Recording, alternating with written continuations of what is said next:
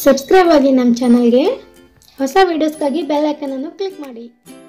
Hi friends ಎಲ್ಲರಿಗೂ ನಮಸ್ಕಾರ. ಲಕ್ಷ್ಮೀ ಪಾಕಶಾಲೆ ಕಾರ್ಯಕ್ರಮಕ್ಕೆ ಸ್ವಾಗತ. ಇವತ್ತು ಸಿಂಪಲ್ ಆಗಿ ಫ್ರೆಂಡ್ಸ್ ನಾವು ಮೊಟ್ಟೆ ಸಾಂಬಾರು ಮಾಡೋದು ಯಾವ ರೀತಿ ಅಂತ ನೋಡೋಣ. ತುಂಬ ಅಂದರೆ ತುಂಬಾ ಚೆನ್ನಾಗಿರುತ್ತೆ ಟೇಸ್ಟು ಓಕೆ ಇದು ಮಾಡೋದಕ್ಕೆ ಬೇಕಾಗಿರುವಂಥ ಸಾಮಗ್ರಿಗಳು ನೋಡೋಣ. ಮೊದಲದಾಗಿ ಫ್ರೆಂಡ್ಸ್ ಇಲ್ಲಿ ನಾನು ಒಂದು ನಾಲ್ಕು ಮೊಟ್ಟೆನ ಬೇಯಿಸ್ಬಿಟ್ಟು ಈ ಥರ ಕಟ್ ಮಾಡಿಬಿಟ್ಟು ಇಟ್ಕೊಂಡಿದ್ದೀನಿ. ಅದಾದ ನಂತರ ಅರ್ಧ ಟೇಬಲ್ ಸ್ಪೂನಷ್ಟು ಗರಂ ಮಸಾಲ ತಗೊಳ್ಳಿ.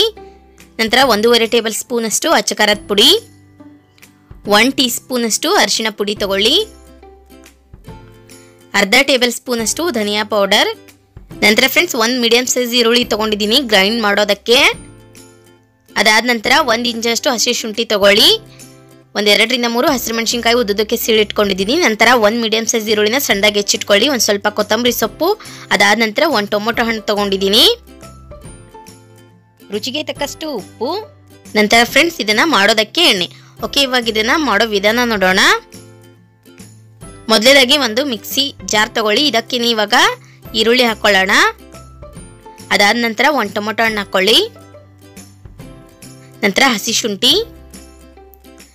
ನಂತರ ಫ್ರೆಂಡ್ಸ್ ಒಂದು ಸ್ವಲ್ಪ ಕೊತ್ತಂಬರಿ ಸೊಪ್ಪು ಹಾಕ್ಬಿಟ್ಟು ಇದಕ್ಕೆ ಇವಾಗ ಒಂದು ಸ್ವಲ್ಪ ನೀರು ಸೇರಿಸ್ಬಿಟ್ಟು ಇದನ್ನ ಇವಾಗ ಗ್ರೈಂಡ್ ಮಾಡ್ಕೊಳ್ಳೋಣ ಸ್ಮೂತಾಗಿ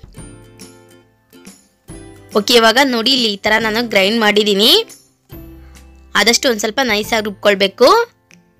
ನಂತರ ಫ್ರೆಂಡ್ಸ್ ಗ್ಯಾಸ್ ಆನ್ ಮಾಡ್ಕೊಂಡ್ಬಿಟ್ಟು ಒಂದು ಪಾತ್ರೆ ಇಟ್ಕೊಳ್ಳಿ. ಅದು ಬಿಸಿ ಆದ ನಂತರ ಅದಕ್ಕೆ ನೀವಾಗ ಎಣ್ಣೆ ಹಾಕ್ಕೊಳ್ಳೋಣ ಎಣ್ಣೆ ಇದು ಒಂದು ಸ್ವಲ್ಪ ಬಿಸಿ ಆದ ನಂತರ ಇದಕ್ಕೆ ನೀವಾಗ ಹೆಚ್ಚಿದಂತಹ ಹಸಿರು ಮೆಣಸಿನ್ಕಾಯಿ ಹಾಕ್ಕೊಳ್ಳಿ ಅದಾದ ನಂತರ ಫ್ರೆಂಡ್ಸ್ ಕಟ್ ಮಾಡಿದಂತಹ ಈರುಳ್ಳಿ ಹಾಕ್ಕೊಳ್ಳೋಣ ಈರುಳ್ಳಿ ನಾನಿಲ್ಲಿ ಒಂದು ಗ್ರೈಂಡ್ ಮಾಡೋದಕ್ಕೆ ತೊಗೊಂಡಿದ್ದೀನಿ ಒಂದು ಒಗ್ಗರಣೆಗೋಸ್ಕರ ತೊಗೊಂಡಿದ್ದೀನಿ ನೋಡಿ ಫ್ರೆಂಡ್ಸ್ ಇದನ್ನ ಇವಾಗ ಒಂದು ಸ್ವಲ್ಪ ಎಣ್ಣೆಯಲ್ಲಿ ಚೆನ್ನಾಗಿ ಬಾಡಿಸ್ಕೊಂಬಿಡಿ.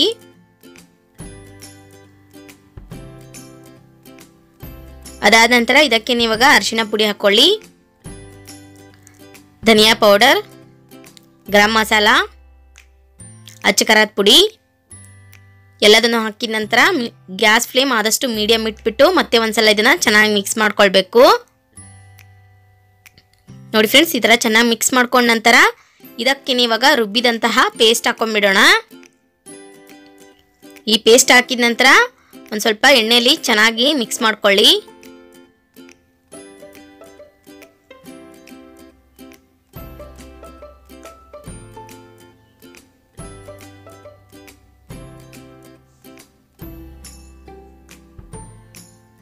ಓಕೆ ನೋಡಿ ಫ್ರೆಂಡ್ಸ್ ಈ ಥರ ಚೆನ್ನಾಗಿ ಮಿಕ್ಸ್ ಮಾಡ್ಕೊಂಡ ನಂತರ ಇದಕ್ಕೆ ನೀವಾಗ ನೀರು ಹಾಕೊಳ್ಳೋಣ. ನೀರು ನಿಮ್ಗೆ ಎಷ್ಟು ಬೇಕಷ್ಟು ನೋಡ್ಕೊಂಡು ಹಾಕೊಳ್ಳಿ. ನಂತರ ಫ್ರೆಂಡ್ಸ್ ಇದಕ್ಕೆ ಇವಾಗ ರುಚಿಗೆ ತಕ್ಕಷ್ಟು ಉಪ್ಪು ಹಾಕೊಳ್ಳೋಣ. ಉಪ್ಪು ಹಾಕಿದ ನಂತರ ಮತ್ತೆ ಒಂದ್ಸಲ ಚೆನ್ನಾಗಿ ಮಿಕ್ಸ್ ಮಾಡ್ಕೊಳ್ಬೇಕು. ಇದನ್ನ ಇವಾಗ ನೋಡಿ ಫ್ರೆಂಡ್ಸ್ ಮೇಲ್ಗಡೆ ಮುಚ್ಚಿಬಿಟ್ಟು ಒಂದು ಎರಡರಿಂದ ಮೂರು ನಿಮಿಷ ಇದನ್ನ ಬೇಯದಕ್ಕೆ ಬಿಟ್ಬಿಡೋಣ.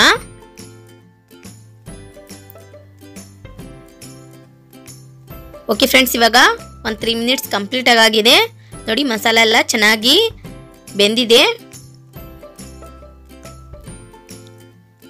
ಇದಕ್ಕೆ ನೀವಾಗ ಬೇಯಿಸಿದಂತಹ ಮೊಟ್ಟೆ ಹಾಕೊಂಡ್ಬಿಡೋಣ.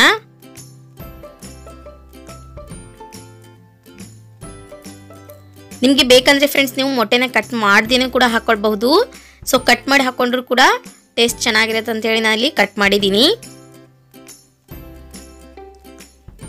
ನೋಡಿ, ಇವಾಗ ಎಲ್ಲ ಮೊಟ್ಟೆ ಹಾಕಿದ್ದೀನಿ ನಾನು. ಮೊಟ್ಟೆ ಹಾಕಿದ ನಂತರ ಈ ಥರ ಚೆನ್ನಾಗಿ ಮಿಕ್ಸ್ ಮಾಡ್ಕೊಳ್ಳಿ ಒಂದ್ಸಲ ಕಡಾಯಿಂದನೇ.